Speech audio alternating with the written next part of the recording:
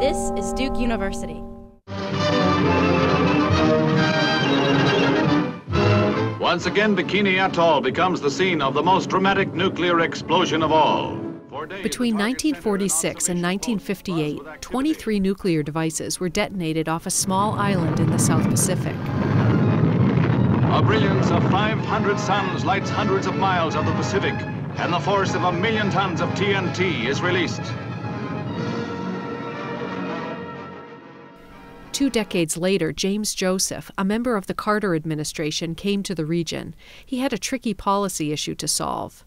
One of my responsibilities was to exercise oversight of the American territories.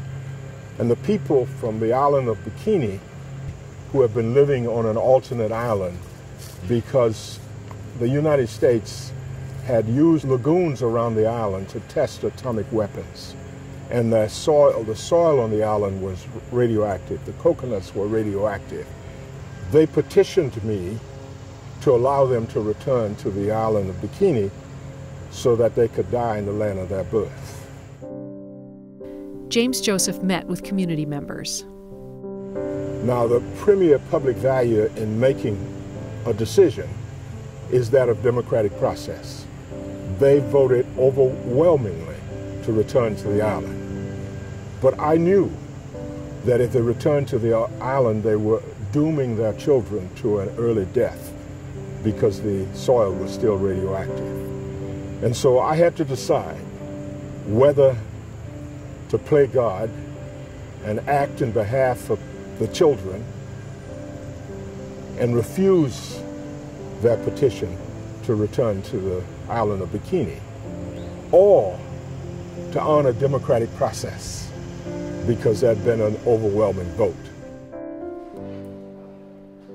He decided the people should not be allowed to return immediately, but he did get the EPA to expedite cleanup. A few years later, the community returned home.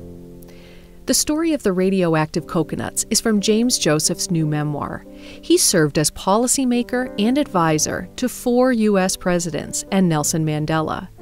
But it's the trip to Bikini that Joseph says changed something for him. The delegation's plane crashed, and he couldn't swim.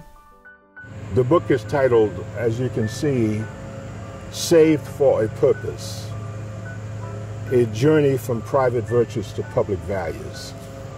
And I used the title Saved for a Purpose because when I was rescued on a life raft in the South Pacific, when a reporter asked me about how I felt, I said I felt like I had been saved for a purpose.